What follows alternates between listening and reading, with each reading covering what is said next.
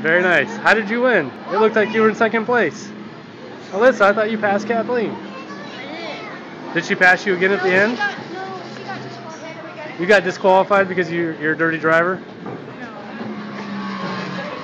That was dirty racing? You slammed Kat into the wall? I seen it. I got it on video. Did you slam your sister into the wall? They disqualified you for that?